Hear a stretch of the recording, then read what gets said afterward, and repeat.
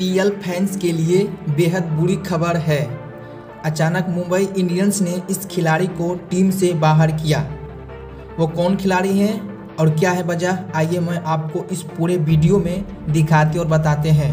तो वीडियो को पूरा देखने से पहले इस वीडियो को एक लाइक करके चैनल को सब्सक्राइब कर दीजिए और इसके साथ ही ये जो बगल में बेल आइकन का घंटा है, इसे भी दबा दें ताकि जब भी कोई नया वीडियो आए तो उसका नोटिफिकेशन सबसे पहले आपको मिले। इंडियन प्रीमियर लीग यानी कि आईपीएल की सभी फ्रेंचाइजी कल, यानी कि 15 नवंबर को ही डिटेंशन या रिलीज़ खिलाड़ियों का ऐलान कर दिया था।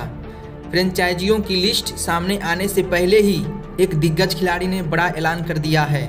इस खिलाड़ी ने अचानक आईपीएल से संन्यास ले लिया है।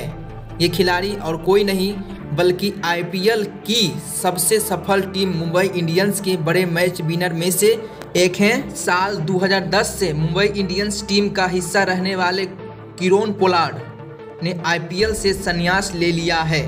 ऐसा माना जा रहा है कि मुंबई इंडियंस दिग्गज ऑलराउंडर किरोन पोलार्ड को रिलीज़ कर सकती है। लेकिन उन्होंने इससे पहले ही ये बड़ा फैसला ले लिया है। किरोन पोलार्ड ने सोशल मीडिया पर एक पोस्ट शेयर कर आईपीएल से संन्यास का ऐलान किया। उन्होंने इस पोस्ट में मुंबई इंडियंस के लिए लिखा यह फैसला करना आसान नहीं था क्योंकि मैं कुछ और वर्षों तक खेलना चाहता हूँ, लेकिन मुंबई इंडियंस के साथ चर्चा के बाद मैंने अपने आईपीएल करियर को अलविदा कहने का फैसला लिया है।